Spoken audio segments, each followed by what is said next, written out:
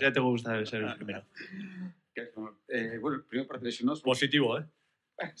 Siempre positivo. Hay alguna novedad en la enfermería, por lo visto, y además eh, muy satisfactoria, ¿no? Sí. Bueno, eh, no hay duda que, que, la vuelta de Miquel es siempre una, una gran noticia. Así que sí, eh, una pena. Ander no ha podido llegar. Miquel sí. Y el resto, pues con ganas, eh, como no puede ser de otra manera, jugándonos lo que nos jugamos. Así que con muchas ganas, con mucha ilusión y, y bueno, y así estamos todos.